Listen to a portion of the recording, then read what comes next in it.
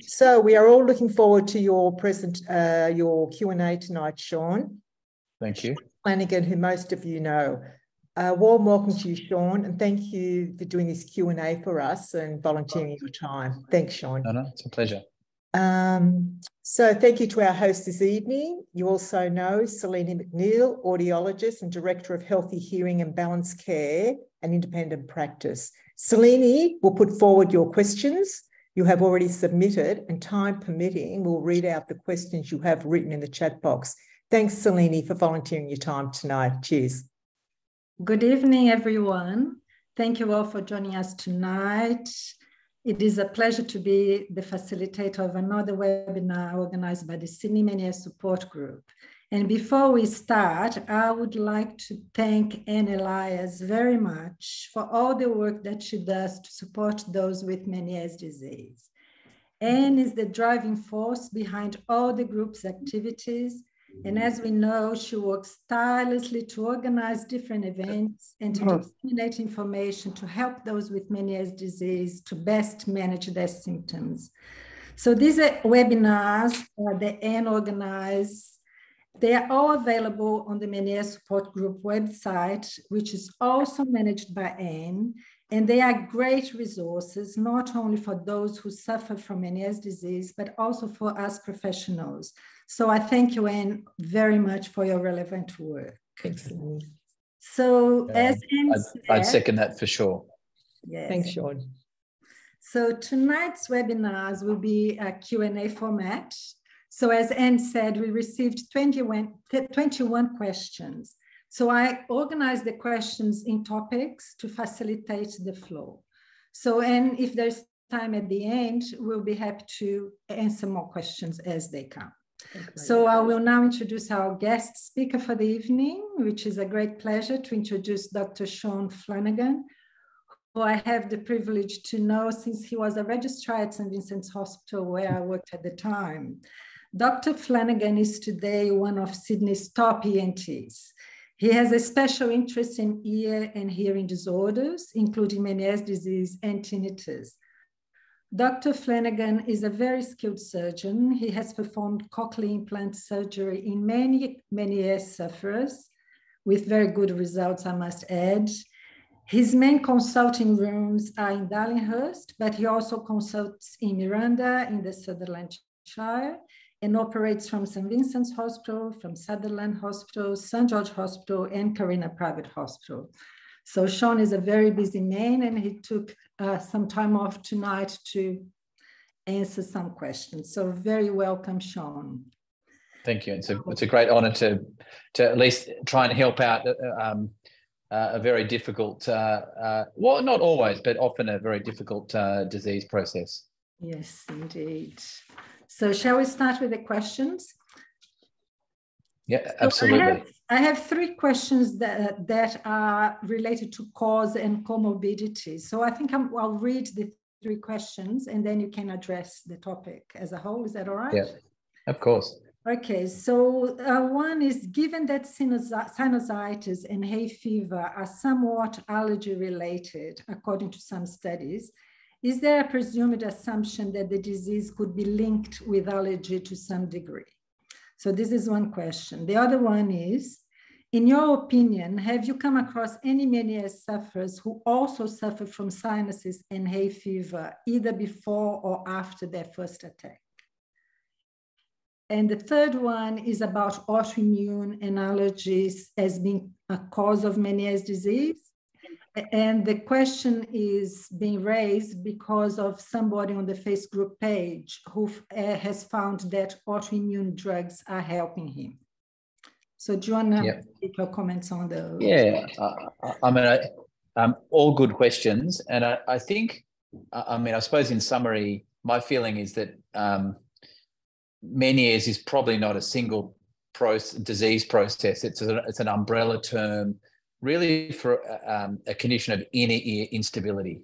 So the initial cause of that, well, some much smarter people than me, and you know, I think there's been some really good um, webinars discussing the the underlying molecular uh, pathology.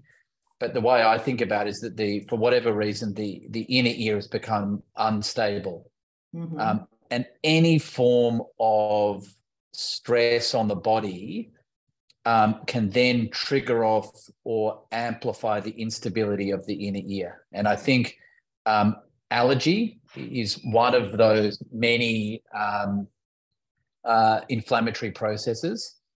Um, and uh, I mean, a lot of a lot of you will notice, you know, particular uh, change in season um, uh, can be a trigger of a Meniere's episode or a, or an um, increased instability of the inner ear function. So I think there's little doubt that um, allergy can play a role. Mm-hmm. I, I, don't think it's a major one, uh, to be honest. Um, and again, we can all um, pick out percentage uh, uh, numbers, um, and depending on uh, what paper you read or what textbook you open up, you'll find anywhere from 10% to 80% of uh, Meniere's uh, sufferers will have a, an allergic um, component to the disease process. Uh, m- my feeling is, in a significant way, it's probably at the lower end of that that spectrum. Um, and sinusitis as well. I mean, you, sinusitis again is a broad term of inflammation of the paranasal sinuses, and it can be often allergic driven. It can be um, infective. Um, and often a lot of sinusitis um, is in fact not necessarily sinusitis per se, but uh, migraine related. So certainly um, if we're dealing with facial pressure, pain, um, retroorbital discomfort, then even though we often label that as sinusitis, often it's a it's a migraine uh, related uh, condition. Um, and I'm sure we'll get into that a bit later, but there's a I think there's a very strong uh, correlation or link or is it even part of the same uh, spectrum of disorder between uh, Meniere's and uh, and um, migraine uh, sufferers? So, I mean, uh, in, in summary, even if we don't think it's a, an absolute or, or a major problem, like everything in Meniere's disease, I, I think um, we need to really aggressively treat and minimize any form of irritation or inflammation in the body, and that includes allergy, uh, recurrent infections, what, whatever it may be. So um, I think, you know, if there's even a minor link between a, an allergy, whether it be inhalant or, or food related, then getting on top of that is a very important part of stabilizing, you know, the overall physiology. Good. And what about autoimmune disease, Sean? Yeah, well, again, I, I think one of the many causes of um, of uh, Meniere's disease is is likely to be autoimmune in, in in type. And again, the way I think about it is that um, 20 years ago, of, of, all autoimmune disorders, we had maybe three or four blood tests. Now we have about you know three or four hundred different blood tests, and you know fast forward another 20 years, we might have three or four thousand basically. So, uh, and I suppose autoimmune disorder is just the body attacking itself.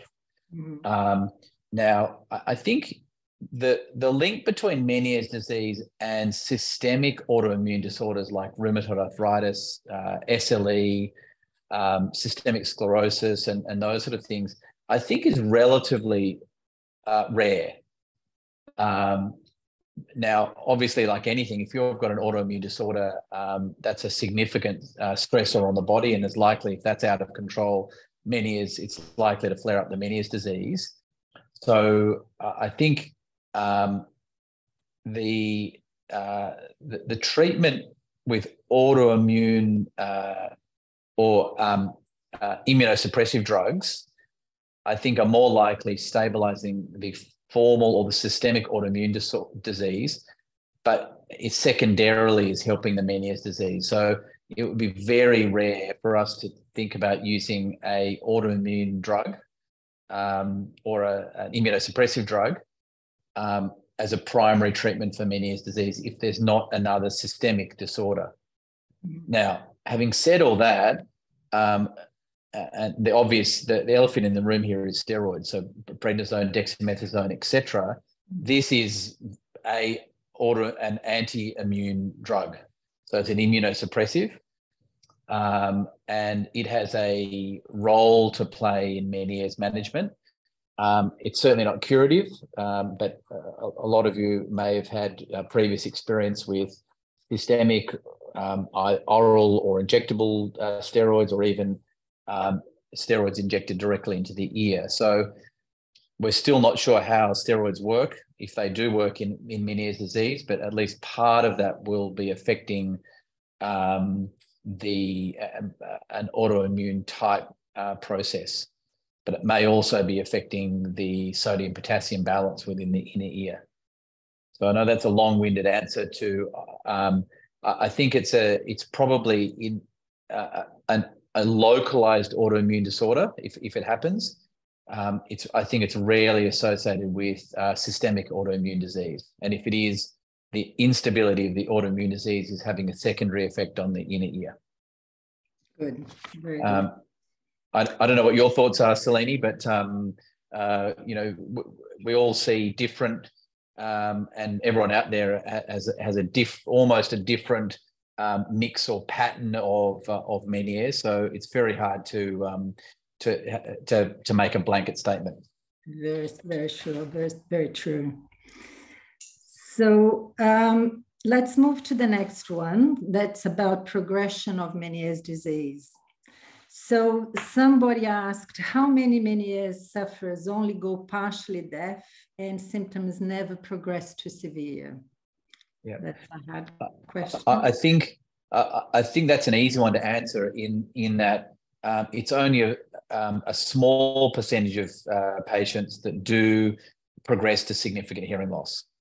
So, uh, and I suppose the pe- the people that we see um, are the thin ed- edge of the wedge. So I think a, a high percentage of patients, um, their disease is mild, uh, it doesn't progress, uh, is often controlled um, by relatively simple measures, lifestyle modifications, maybe dietary, maybe occasional medications or whatever. Unfortunately, it's the the people um, who get significant disease probably represent somewhere between you know 15 or 20 percent of all Meniere sufferers. Mm-hmm. Um, and like I'm sure a lot of you are aware aware, um, part of the problem there lies in diagnosis as well. So um, uh, anyone who's had vertigo or maybe some tinnitus or hearing loss, uh, maybe not so much now, but in the last 20 years, uh, often people were labelled as Meniere's disease, and in fact you know, weren't weren't actually Meniere sufferers, but had another disease process or a, or a single episode um, that never progressed. But having said that, I think uh, only a relatively small uh, percentage of patients will progress to more significant symptoms. And do you think you can predict who these people are? Because I think that's the difficult, the difficulty of this question. Yeah, uh, I, I think the answer is no. Yes. Um, it is very, very difficult. Um, uh, I mean, p- potentially, I suppose people who are otherwise very healthy, younger patients um, without any other comorbidities probably have a slightly lower risk of progression. Mm-hmm. Um, but that that that's helpful if you're um, looking at thousands of people as an individual turning up to discuss um, uh, symptoms with your doctor or audiologist or whatever. It becomes very difficult to predict, and that that that sense of uncertainty is one of the, the major problems in managing Meniere's disease for, for, for everyone. Absolutely. So the, the other question related to progression is, is burnout real? And there's another question on the same topic. It, if Meniere's attacks are controlled and reduced with diet and drugs so that they become infrequent, does that delay burnout or have any other known long-term benefits or issues? So, yeah. Um, there's no doubt burnout is real. Um, uh, the problem is, you know, you might read a textbook or a, a, or a common description that there's a set number of phases, and burnout will go, or the disease will go through one, two, three stages, and uh, at 15 years you'll definitely burn out. The problem is that burnout phase can go, it can can um, exist anywhere from six months to 60 years. So this is this is the challenge mm-hmm. um, that you don't. Uh, I'd love to say to people, well, you know, this is going to burn out. I can guarantee it's going to burn out in a year's time. Just hold tight, um, survive until then. Um, but that's that almost never happens. Mm-hmm. So, um, and the problem also with burnout is that um, for, for different people, it happens at a different set point. So some people might burn out with only very mild hearing loss and vestibular dysfunction, whereas uh, some people may burn out um, with uh, almost complete deafness and uh, and almost complete lo- loss of vestibular function, mm-hmm. uh, and anywhere in between. Um, so I mean, it might be sound slightly silly, but certainly um, medically induced burnout can happen. I mean, that's when you know people do have either a chemical or a surgical labyrinthectomy to essentially sacrifice uh, inner ear function. That will certainly burn the disease out, but at the cost of potentially uh, inadequate compensation for hearing and balance loss. So um, they're they're part of the really big decisions in um, in end stage Meniere's management. Yeah, because I think what the question what they're trying to ask here is if you control the symptoms, if you're going to delay burnout, do you think there's such a thing? Uh, a little bit the opposite, right? You can speed it up by intervention, but correct. Yes. Uh, yes. I think, well, um, it's a good question. I mean, there's some argument that no matter what you do, the ear is going to end up where it's going to end up anyway. I think that's slightly fatalistic. You know, um, I think you know this is one of those things that maybe it's not completely backed up by science, but if we can um, if we can control the symptoms, stabilize the ear, then you would hope that in the long term, the uh, the end point of the ear function is going to settle at a at a much better level of functioning. Mm-hmm. Now, again, if you're a completely complete fatalist, well, maybe that's because that subtype of Meniere's in that per- particular person was never going to get particularly bad anyway. Mm-hmm. Um, but at least it gives us some uh, hope or some uh, goal to get um, to get the symptoms under control, uh, with the um, the hope or benefit of uh, minimizing uh, long term damage or loss of function. Mm-hmm. Okay, so the next one is somebody who had a diagnosis of vestibular migraine to start with in 2005. And in 2022, he was diagnosed, he or she was diagnosed with Meniere's following a significant cluster of attacks. And yeah. it says, my left ear is good enough not to need a hearing aid at this point. However, the caloric tests didn't work with the usual hot and cold water and ice water was needed to generate a response. And the question is, does it mean the beginning, the middle, or the end of Meniere's journey? The fact yeah. that the calorics are only present with the ice stimulation. Yeah. So um, probably everyone's out there has had a caloric test, maybe, maybe not, but um, uh, the, almost counterintuitive um, for those who haven't is that the more dizzy you become when we put water in the ear, the better the result in, in a weird way. That means that if we're putting um, water hot and cold into one ear and you get severe vertigo, that it means that the actual the, the at least the low frequency part of the vestibular function is is still intact. If we need to put ice cold water in the ear to generate a response, it means there's a fairly significant degree of vestibular loss in that ear already. Now, there are many different uh, um, types of vestibular function test, and they're testing different parts of the vestibular system. So um, a caloric is not everything, but it, it gives us an idea of your if you've got ice cold calorics only, it means there's a fairly significant degree of um, vestibular dysfunction. And if you're not getting any more vertigo attacks or very minimal, um, and the hearing is down but not fluctuating, you would assume pretty much that that uh, that ear is heading or at the point of, of burnout or or uh, very little active symptoms. Mm-hmm. So, in, on the same line, there's a question if it is recommended to have caloric tests, uh, like as a regular, to monitor the symptoms or if it's just if symptoms get worse over time? Yeah. Uh, I mean, you and I might differ slightly here, Celene, but potentially I don't know.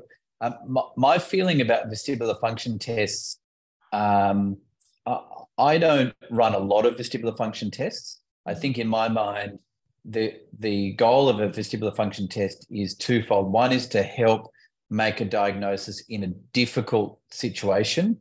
Um, I, if we're trying to work out, is this Meniere's, is it vestibular migraine, is it some other uh, disease process, or is it a combination of, of, of both or all of those? And certainly, if we're looking at um, or considering a more aggressive um, medical treatment, so an ablative type surgery um, or uh, or procedure, I think it's very important to determine what the underlying vestibular function is uh, on in both ears. In fact, you know, so probably even more important on the contralateral ear, and this will at least give us a, an idea. It's not definitive, but give us an idea of what kind of um, compensation uh, we can expect. Um, and we also you know, think about doing that for non-Meniere's patients. For instance, if people have a tumor or if we're thinking about cochlear implants, etc., we, we want to make sure that we're thinking about not only the worst hearing ear, but also the worst uh, balancing ear. I think that's very important. But coming back to the beginning, I think routine or regular um, balance function tests, certainly caloric effect, uh, caloric tests, I, I don't think are really strongly indicated in that regard. Yeah, yeah, I agree with you. I don't think the caloric's necessary on a regular basis, but I think the VHIT and the other tests might be useful. Yes. And yep. not so much on the diagnosis, but also in the management to help yep. with the management for the rehab of the vestibular system. Correct. I think you know one of the big things that, um, and I mean, Celene and probably most of you are very aware of. I think um, the overall management of Meniere's disease is, is, you know, the really important things are much more or should be much more focused on the rehab than the almost the medicine. I don't want to talk myself out of, out of a job, but I think it's the um, the interictal or in between episode vestibular retraining, whether that be with a vestibular physiotherapist, you know, good audiologist, exercise physiologist, um, hearing rehabilitation in all in all sorts of forms and you know psychologic rehab etc these things are i think significantly more important than than medications and and even surgical and, uh, and medical interventions basically. So i think Celene was saying um, the VHIT um, is again probably most people have had one but it's really just testing um, how our our brain, our eyes and ears communicate with each other, how they can stabilize our our rapid head movements. Um, and it's a very simple, um, non-invasive test, and it can give us a, a, really good idea of what kind of compensation has happened, or m- maybe uh, we should be aiming for to optimize, um, uh, you know, uh, day-to-day functioning. Mm-hmm. So the other one is, can you explain drop attacks, when they start, and will most people have a drop attack? Okay. Um, my experience is most people won't have a drop attack. Um, if it does happen, it tends to happen really toward the end of um, the Meniere's process. I think more often than not, you can, there's always exceptions there. I think if you're looking statistically, it's slightly more likely to happen in older versus younger patients. Um, and if you can imagine um, uh, like a, uh, a Meniere's attack involving the semicircular canal. So there's this concept of the part of the ear that's being activated. If you can imagine the semicircular canals around, this might be overly simplistic, but basically you're stimulating the semicircular canals. The, the brain thinks you're spinning in a circular direction. We've got the utricle and the saccule uh, within the the um, uh, the inner ear balance system, and they dictate both um, uh, up and down and back and forth movements. So the utricle, um, if that becomes uh, activated, it can cause a sudden loss of um, vestibular tone. So that's a drop attack. So you, you all of a sudden drop to the floor what's really important um, is that there is uh, no loss of consciousness. So you, you, need to be completely awake and aware um, when things are happening. Um, and then often, you know, you, you, know, in a dangerous situation, you know, you can it can be a, a big issue, uh, but often that's followed by the onset of a a more classic uh, rotational vertigo episode. Now, the reason I say about th- there's um, about the importance of not loss of consciousness is that we need to be certain that it's not a cardiac uh, or a primary neurologic event. So there's been a few people who've had Meniere's disease and have had um, blackouts or you know uh, sudden drops to the ground but lose consciousness for seconds to um, to minutes. Um, this needs to be aggressively uh, investigated um, not, um, by a cardiologist or neurologist. Um, they can be similar, but there's no mechanism for the inner ear to cause uh, loss of consciousness unless you're really unlucky and you, you, hit your head on the way down or something. But um, um, uh, that's that's something very important for us and, and you guys to be aware of. Yeah, don't just assume that was a drop attack. May not have been. Yeah. Yes, absolutely. Yeah. So this question here, I don't really understand, but uh, it says people talk about a very quick brain zap with Meniere's. Mm. Is this common? And if so, what's happening? Yeah. Um, I, I think um, I mean, brain zaps, or um, and uh, that I suppose that could represent a whole range of things. But whether that's uh, pain or just a sensation of like an electric current going through the head or, or whatever, um, uh, I, I, don't think it directly related to Meniere's disease. So um, it's not an uncommon symptom. And if someone's describing those sort of uh, uh, sensations, um, apart from like a, a whoosh feeling, so like a, a sudden, you know, feel as though whoosh, the whole world spins around.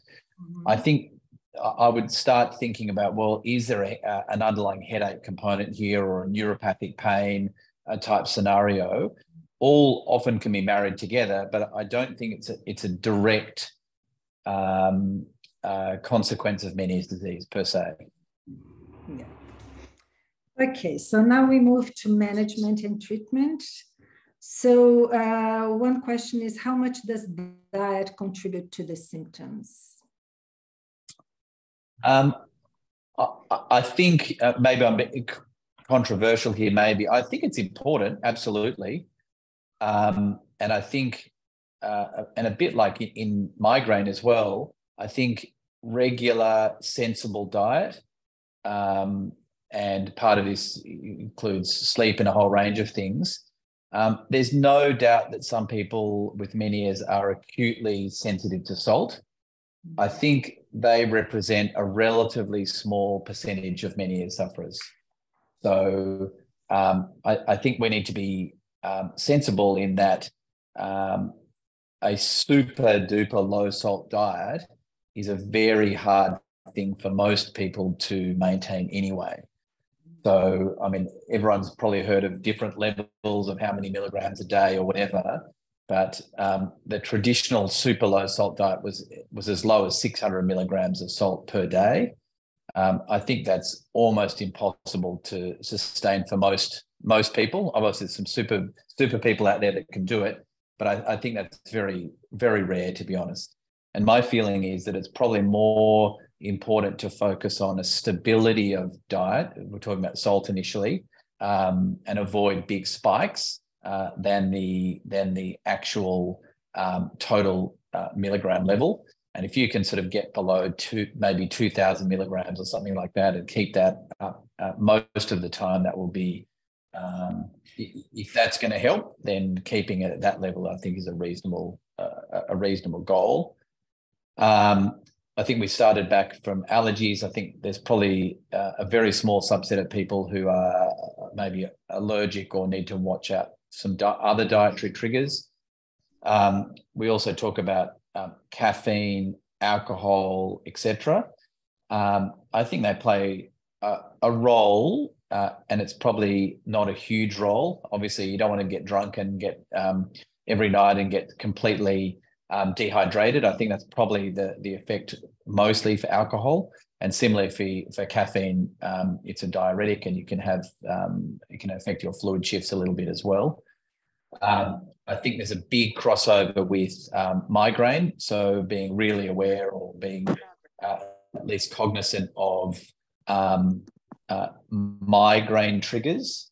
Um, and in migraine, it might be things like um, red wine, dark chocolate, tomato paste, the whole range of things uh, to be aware of. I think um, they're probably just as important as a lot of the Meniere's type diets uh, that we um, that we look at. So, what about anti-inflammatory diets like gluten and dairy-free diets? Do you think does it have a role to play?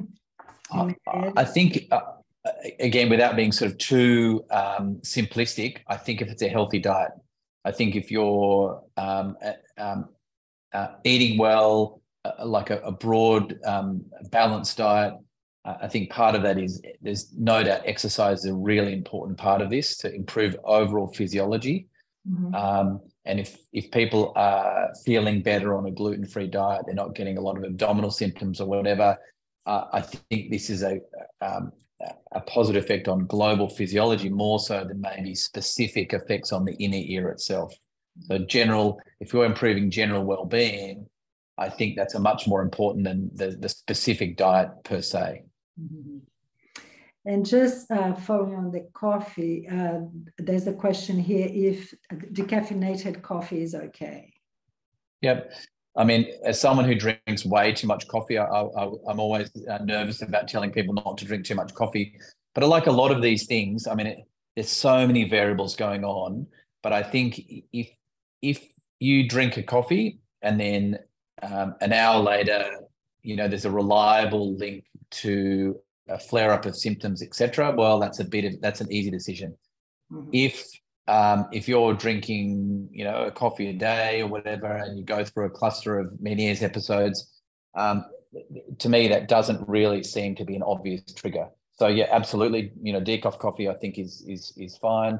Obviously, there's a bit of caffeine in tea and and various other things as well. Um, I think it's five cups of coffee a day that can you know really affect um, almost your anxiety levels. I think that's probably more likely a effect than the, the compound of caffeine itself. Mm-hmm. And effects on sleep and, and other things, I think, is much more important. Okay, so the other question, or there's two questions on the same lines. So the first one is during an attack, it can sometimes be around 10 to 12 days long, yep. which include vertigo and hearing loss and tinnitus. At which point do you seek medical advice, if any? Yeah. So there's another one on the same lines, yeah. maybe I'll another one. So having had Meniere's disease for over 12 years, and whilst I know the episodes will finish, I am never really sure during them if medical advice should be sought. GPs yeah. don't really know what to do, and it's hard to get a late appointment with your preferred ENT. It is known that attacks come in clusters. However, is there a point in the attack that one should seek medical advice? Yeah. I, I think the answer to that is yes. Um, and I think it's probably beholden upon all of us to um, almost have a, um, a plan in place. Um, so um, I suppose there are, um, again, maybe overly simplistic, but being aware of potentially uh, what might be the triggers, you know, what might be the the things that will lead to a cluster of, of attacks and obviously trying to minimize those. Mm-hmm. Um, having said that, you know, if, if we are in the middle of a, a cluster, then um, there's a lot of experimentation. Um, everyone's going to react a little bit differently, but obviously having a plan of rescue medications in play, and that could be something uh, like an anti-nausant and then a vestibular suppressant, and then have um, the, a setup in place where you could potentially um, uh, lie down, uh, sleep it off, uh, essentially.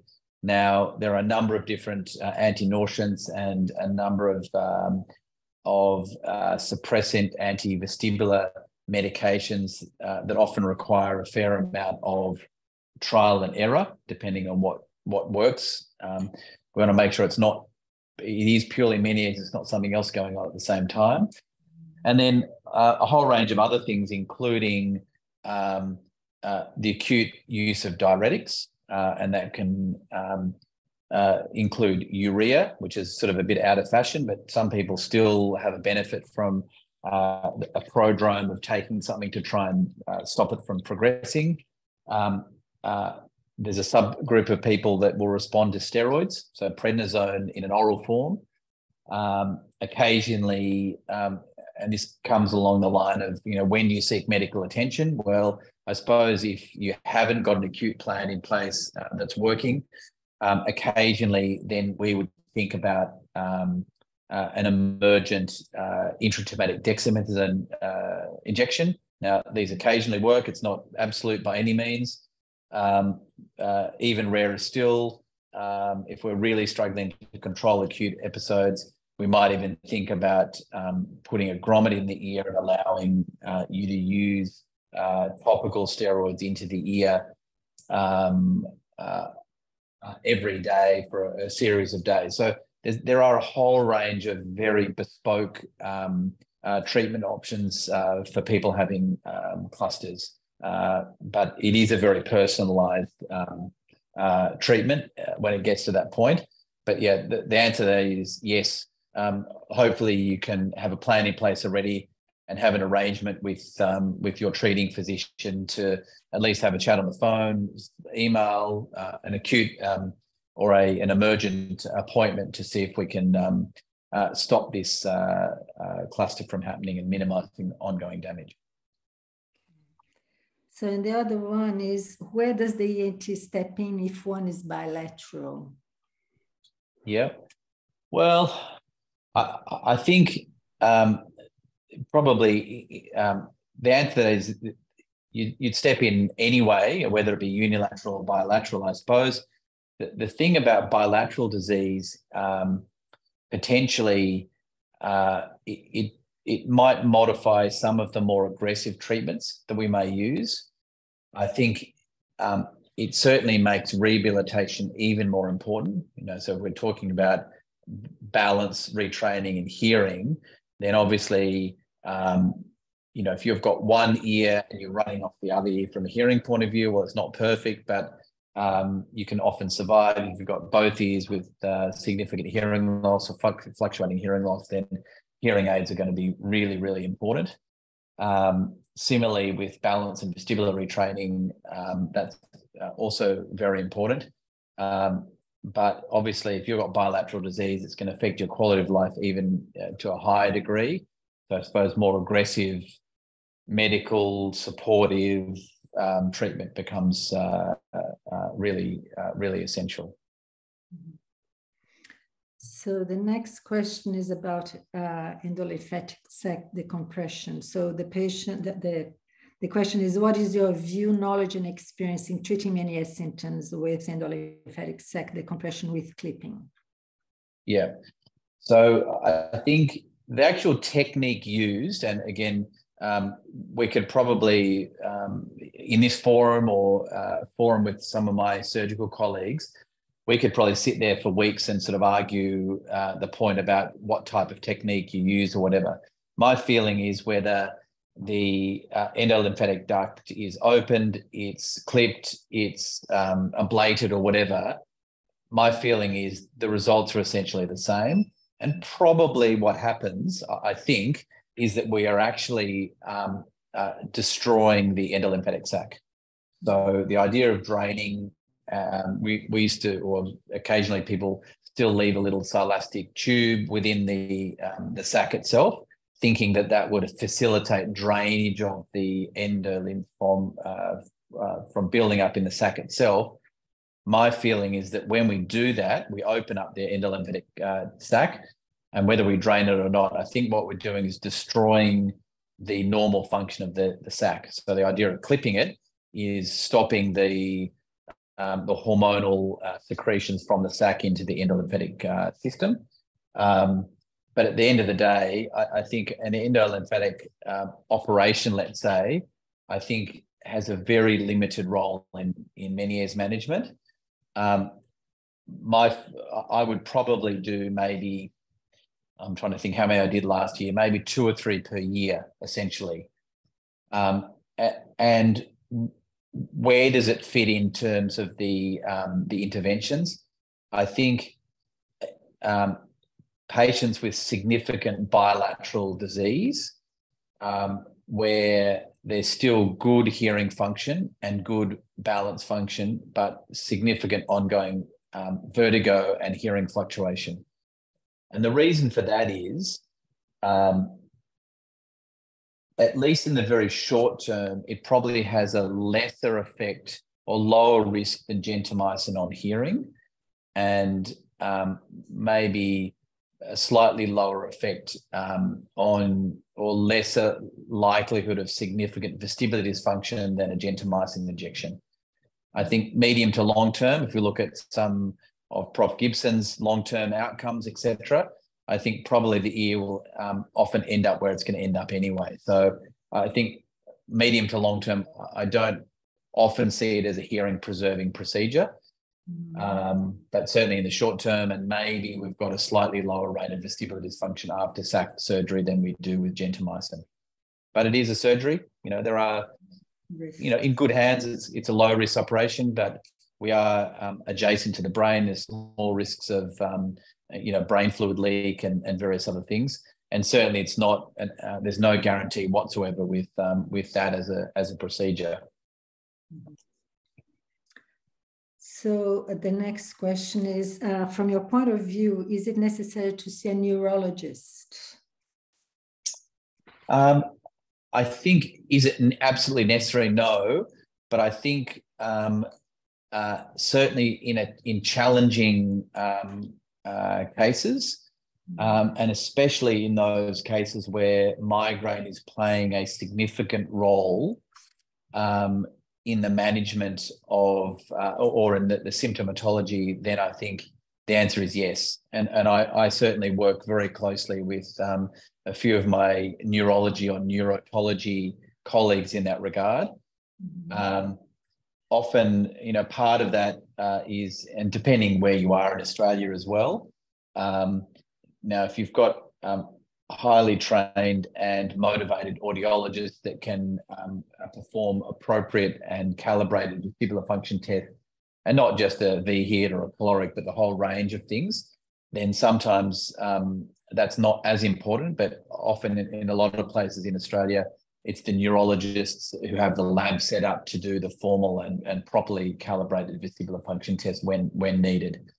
But in my mind, um, they can be a, a neurology opinion can be very helpful in terms of working out how much is migraine, how much is Meniere's disease. Is it some other central form of uh, vertigo that can be really severe but relatively rare?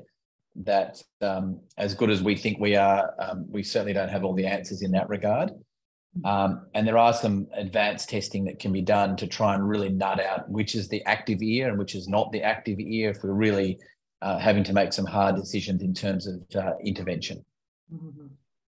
So more in terms of differential diagnosis then, isn't it? Yes, absolutely. So the last question on the topic of management, I think you have already answered, but maybe just to wrap it up. So the question is, when you diagnose someone with Meniere's disease, what are your manage- management tips for one to take with them? medication yeah. or what you would, you would recommend? Yeah, I, I think um, that because um, most patients who are uh, diagnosed with Meniere's disease, most uh, patients will be able to control their symptoms um, with, let's call it globally lifestyle modification. So this, whether it be um, eating well, living well, sleeping well, you know, thinking well, a whole range of things and that's before we even start with you know talking about medications. So in in, my mind, um, medications play a relatively small role in most Meniere's management. Um, and again, we might be slightly um, fatalistic or negative about this, but if you look at all the data, um, uh, all the Cochrane reviews, and there's been a, a recent re-release of a whole range of different uh, Cochrane reviews uh, there's no there's there's no overwhelming evidence that anything works, um, including diuretics, Serc, intratympanic steroids, oral steroids, um, nothing. So I, I, think that's a little bit fatalistic, and I think there's there's different subsets of people and, and disease processes that will respond to certain medications. Um, but I think it's lifestyle um, uh, management physical, emotional, whatever it may be, is by far and away the most important thing. And whether that requires professional help in terms of um, balance retraining, um, uh, psychologic, you know, um, psychologists to talk about tinnitus, to talk about the feedback loop of anxiety and triggering in an episode, etc. Um, and often um, an overlooked thing is sleep. So um, if we're talking about stress being a trigger for Meniere's disease, which I think it is, the commonest physiologic stress uh, for most of us is uh, inadequate or poor quality sleep, and that can be um, sleep disorders, obstructive sleep apnea, whatever it may be. I think that's a very under uh, underestimated and considered uh, comorbidity in Meniere's disease. Yep. Yeah, I always say, and it is true, the happiest of my Meniere's patients don't take any medication. Yes. Yes. Yep.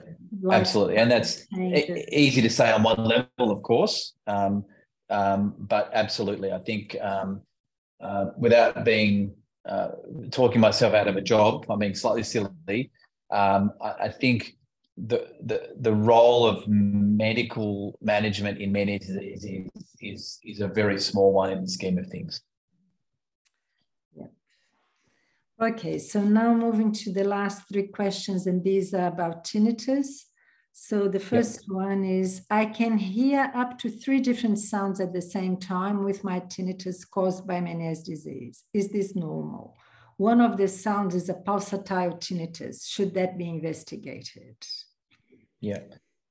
So, um, in and this might be overly simplistic, but I think the way I think about tinnitus is that um, you need to have some form of damage to the auditory pathway in order to have tinnitus. Mm-hmm. So, um, and people can have tinnitus with what looks like a normal audiogram. So, often what will happen, and maybe not even Meniere's disease, but basically all comers with tinnitus, people will walk in and have a hearing test and um, um, you know, good audiologists, but without a, a, great degree of sort of interest in the area, will say you've got normal hearing. Um, you know, it's all in your head. Um, just go away, basically. But even if you've got normal hearing, um, an audiogram is only a, a very superficial uh, assessment of uh, underlying auditory function. So you can have a mild degree of hidden hearing loss or higher frequencies or whatever it may be. And essentially, if you've got a little bit of neural damage the auditory pathways, the brain and the ear will set up almost a leaking circuit. So um, and these leaking circuits in the brain then uh, interconnect with other parts of the, the, the brain that control um, neck muscles, jaw muscles, limbic system, or whatever. So again, it comes back to any form of stress on the body, whether it be physical, um, muscular, so sore neck, sore jaw, um, clenching your teeth can amplify it or whatever. Um, these things can modulate how the brain processes that sound. Um, and then in and of itself, tinnitus is annoying. It can affect sleep quality, state of mind, etc. And these all these things can, in um, unlucky people, cause a feedback loop, and that can make the tinnitus worse. Mm-hmm. I suppose in many Meniere's disease, if we're talking about that sort of multi-frequency tinnitus, um, uh, it doesn't surprise me at all in that if you've got multiple frequencies of your ear with with neural damage or whatever, then having different pitches of tinnitus, I mean, it makes sense to me. So, uh, in and of itself, it's not a warning sign. Pulsatile tinnitus, mm. the answer is um, uh, all comers. If you've got pulsatile tinnitus, and we can be, uh, if we can really either hear it, so with a stethoscope or whatever, um, and it's in time with the heart, we can modulate it with um, blood flow, either arterial or venous then yeah, probably uh, an appropriate uh, X-ray or scan is important. Now, having said that, 95% of pulsatile tinnitus is related to the inner ear losing some of its um, uh, almost inherent noise cancelling ability. So if you can sort of, um, if you can envisage the carotid artery travels about a millimeter or two millimeters away from our cochlea, and that's pumping let's say three liters of, of blood per minute um, uh, to the brain. Um, and if you're if you sense that um, a pulsatile tinnitus, most pulsatile tinnitus, and we see this in Meniere's disease probably more more so than most, is that you're actually sensing some of your internal normal blood flow or muscular movements. So in and of itself, it's a yes, we probably need to think about investigating it, but almost always it's related to loss of um, some of the internal regulation of internal noises from the inner ear. Um, and if, if once that's the case, then the management of that tinnitus falls back to the same way we would manage any other form of um, constant sound tinnitus. So, in other words, if you have Meniere's and pulsatile tinnitus, you don't have to worry too much about investigating. Yep, I think it, almost always. I mean, we're almost always we've already run some form of imaging to rule out other things anyway. So it's obviously really important to mention, etc. But in and of itself, uh, in my mind, almost always it's just another form of the the tinnitus related to uh, loss of inner ear stability. Yeah, which is quite common, the pulsatile and the Meniere's. Very common. Yes. Yeah. So the other question I think you did answer because uh, the person says my tinnitus started as a very low frequency tone and moved to a high frequency. Is this common in Meniere's disease? Yeah. So as as you've seen, Celene, and, and most people, obviously the, the, the hallmark of early Meniere's disease is low frequency hearing loss. Mm-hmm. So that often, it's not always the case, but often uh, the tinnitus will reflect at least to some degree the frequency band or range of, of, the damage to the inner ear. So as the as potentially the inner ear dysfunction worsens, it tends to spread to the higher frequencies. So that's pretty pretty common and almost expected. Yeah. And the last question, Sean, are there any remedies to relieve tinnitus, especially at night when trying to assist with falling asleep? I don't want to mask the tinnitus with other noises. Okay. Um, okay, let, let me be silly. Come back and see me in 40 years' time. so, uh, I mean, the, the ultimate treatment, obviously, of the tinnitus is, is to repair the inner ear um, dysfunction, essentially. So, we're a long way away from that. Now, I think the, the management really, uh, and uh, without being sort of too blunt, I think the whole nighttime thing is maybe let's not call it masking, but I mean, you don't want to completely um, mask out the sound, but you really want to stimulate the auditory system with a sound that is emotionally pleasant.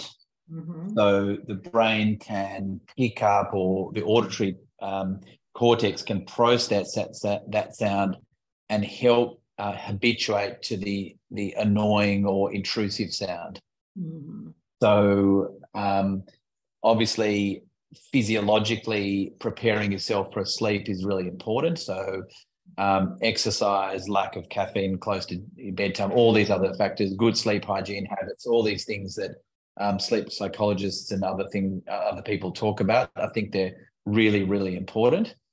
Um, but uh, I think you know, sound enrichment, let's call it, I think is a very, very important component or part of uh, nocturnal tinnitus management, for better or for worse. I don't. I mean, what are your thoughts here, um, Celene? You obviously deal with a lot of people with with tinnitus. What are your thoughts there? I do. Look, I think what you said is absolutely right. At this point in time, we treat sound with sound. That's the best option we have available.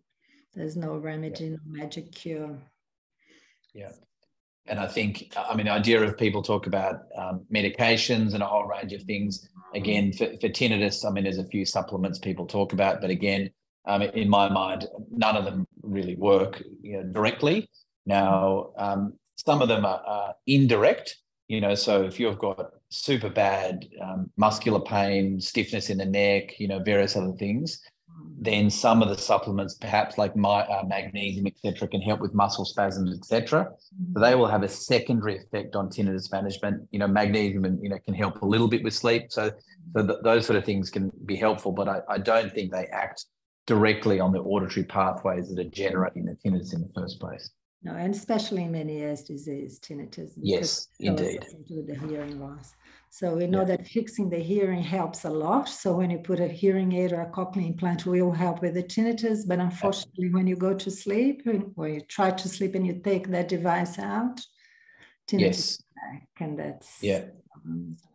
Yeah, absolutely. And I, I think you mentioned about uh, tinnitus control. I mean, often, um, often people will talk about um, well, my hearing is so bad, you know, um, I'm just going to put a hearing aid in, it's going to amplify distortion, etc. I think that almost always, even if you've got relatively poor speech discrimination, um, then a hearing aid appropriately, you know, tuned and, and modified by very and a good audiologist can help with that sound enrichment scenario that can help with tinnitus management, um, even even if it's not really helping so much from a hearing perspective. Absolutely, and gives sound awareness and also yep. brain plasticity. So even if the hearing Absolutely. is distorted to start with, the brain adjusts to the distorted signal yes. and makes some use out of it. it it's not perfect, but, but it, it's hard work. You know, like you know, like, like a lot of these things. Um, you know, the, the brain has to get used to it. I mean, there's a lot of maybe almost silly ana- analogies, but it's a little bit like, you know, you're not going to go to the gym and start lifting, uh, bench pressing 100 kilos a day. You know, you're going to start with maybe 20, 20 kilos and then, and this is working with your audiologist to sort of slowly increase stimulation to, to, to, the ear. Um, and then even if we're talking about end stage cochlear implants, etc., then um, I, I, think a period of audiologic retraining, unless the ear is completely dead with a, a standard hearing aid, is a very important part of that um, of that rehab process. Yeah, I couldn't agree more. So thanks, Sean. Thank you so much. It's three minutes to eight o'clock.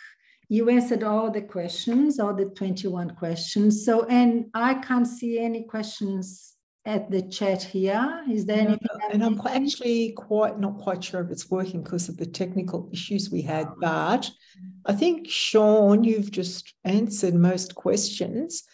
I'll have one more question. So, when would you recommend someone to get a someone with Meniere's to have cochlear implant? I mean, who is eligible for one, basically? Because that's a question a lot of the people here ask. Yeah, of course. So, I think um, uh, it's a pretty rare scenario, you know, obviously. So for, for, for the hearing to decline to a point where a cochlear implant is necessary or uh, or advised, I mean, statistically is, is, is very unlikely.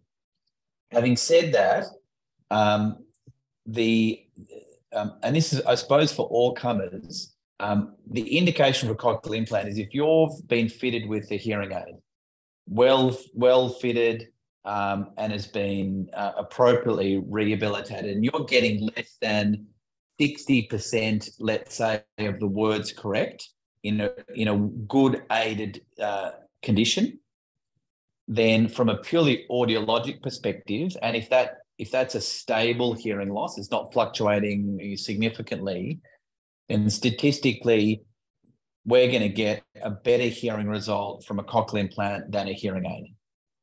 Now, in Meniere's disease, um, because the, the damage is um, almost always um, localized within the cochlea itself, the cochlear nerve that's carrying the stimulation from the inner ear to the brain is normally pretty robust.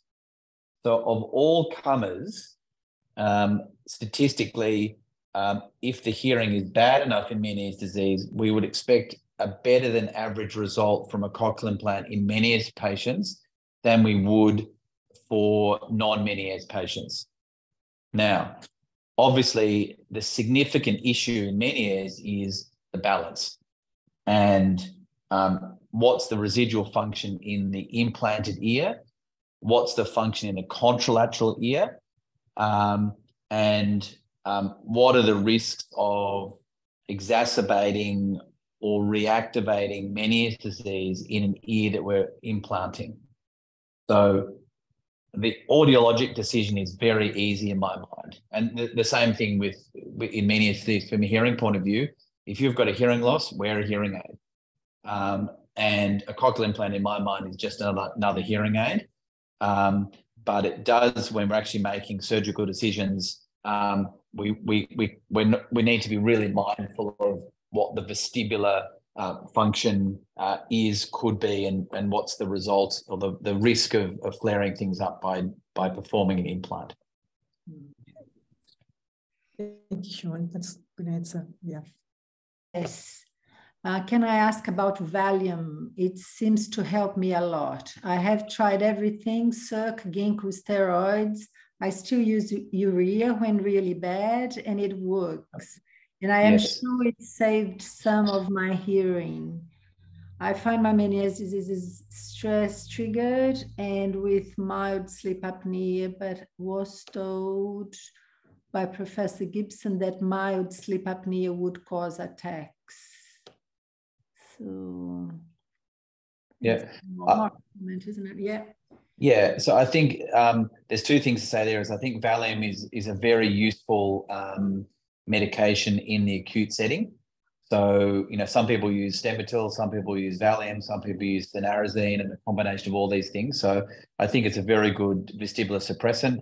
Um, uh, it's also a very good um, anti-anxiety drug well, it, it acts very well as an anti-anxiety drug.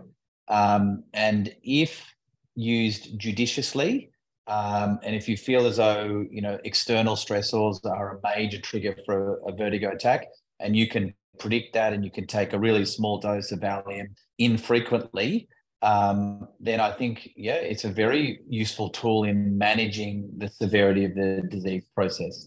The problem with that class of drug is um, that uh, you don't want to take it on a regular basis. Um, if you're taking, you know, like a, a five milligram uh, tablet of Valium three times a day, well, then fast forward three months, then you might need 10, then you might need so on and so forth. So it can become a physiologically addictive drug, but used uh, judiciously and appropriately, I think it's it's it's it is a it can be a helpful medication. And Sean hasn't even finished his day's work yet. Thanks, Sean, so much. No, it's a pleasure. Well, hopefully the my, my registrar's closed the wound, and we can I, I can I can go back and uh, um, and uh, and have a cup of tea. So no, it's uh, good yeah. timing. Thank, thank you, Sean. Really, we really appreciate your time. Really. No, thank, thanks for the opportunity to to to help out. Thank you, and thank you, Celene, also. Really, very welcome.